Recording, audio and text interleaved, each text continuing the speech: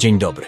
Dzisiaj chcielibyśmy Was zapoznać z procesem znakowania wybranych materiałów w Tubes International. Laser światłowodowy przeznaczony jest do znakowania metali, głównie stali. Zapewnia trwałe oznaczenie przewodów, co umożliwia szybką identyfikację produktów. Optymalizuje przeprowadzenie kontroli jakości oraz ułatwia magazynowanie. Pole znakowania pojedynczego elementu, przykładowo tabliczki znamionowej, wynosi nawet 100 na 100 mm. A średnica elementów znakowanych na specjalnie wyprofilowanej podstawie może sięgać aż 350 mm.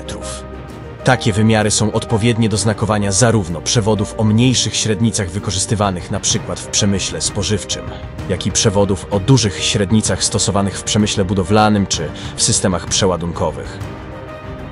Wykorzystywana technologia jest w pełni powtarzalna.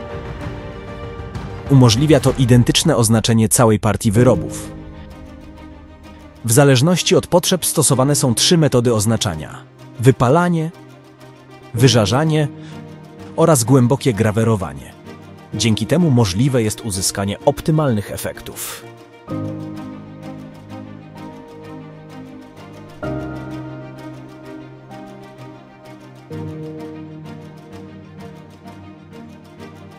Znakowanie możemy wykonać m.in. na tulejach przed zakuciem, po zakuciu, taśmach stalowych,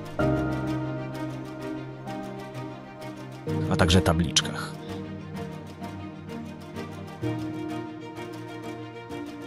Każdy wyprodukowany przewód jest przez nas oznaczony zgodnie z wytycznymi prawnymi, takimi jak na przykład dyrektywa ciśnieniowa czy norma DIN 20066. A więc oprócz wygrawerowania indeksu produktu, zapewniającego identyfikowalność przewodów, znakujemy zależnie od rodzaju węża, również nazwę producenta, datę i numer partii produkcyjnej, ciśnienie robocze, ciśnienie testowania, a także zakres temperatur pracy.